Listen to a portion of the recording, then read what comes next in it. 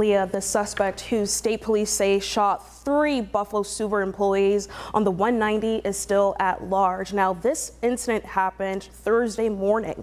Police say the suspect was driving a dark colored late model Jeep Grand Cherokee.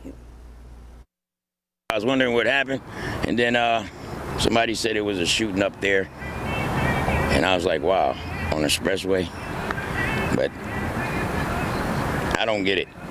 Anderson Jesse can't wrap his head around the broad daylight shooting of three Buffalo Sewer Authority employees, where state police say one is dead and the two others are in ECMC. I met Anderson at Broderick Park, where the Buffalo Sewer Authority building stands. State police say the three employees were traveling southbound on the 190 not far from exit 9, the Peace Bridge, when the shooting happened. As you see, there were several bullets shot at the city truck.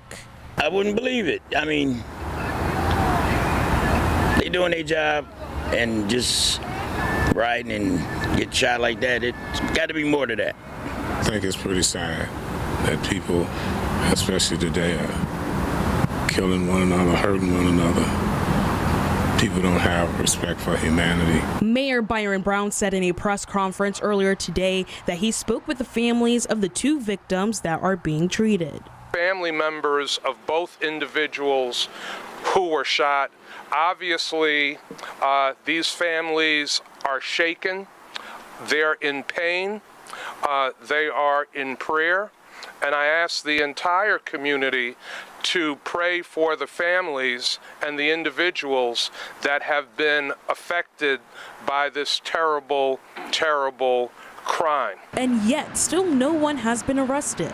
We believe this is an isolated incident. We believe that there is no threat at all to the public. District Attorney John Flynn wouldn't say if this shooting had any motive. He did emphasize the charges that the suspect will face when they're caught. Uh, one count of murder and two counts of attempted murder. Reck reckless endangerment. Uh, I, I can add on a lot, trust me. State police say the two that survived the shooting, one has minor injuries and the other has serious injuries. They got to stop. I mean, the mayor got to do something better than what he's doing. Because they ain't getting all these homicides. Everybody's, you know, they got to step up the force. I just wish we would all get it together as people and learn to love one another and help one another. A better place, better world we would, we would be in.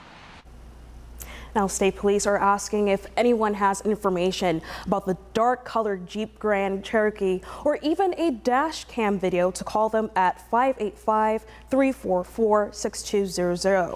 And just after 10 this evening, we heard from the union representing the Buffalo Sewer Authority workers, the CWA Local 1186, sending a, a message to our newsroom with a statement reads in part, our co-workers who are who were violently attacked while working are men who are loved and respected by their co-workers for their hard work and dedication to not only work but to each other. As we continue to mourn the loss of one of our members today, we also look forward to a speedy recovery for our other co-workers. In studio, Jocelyn Person, 7 News.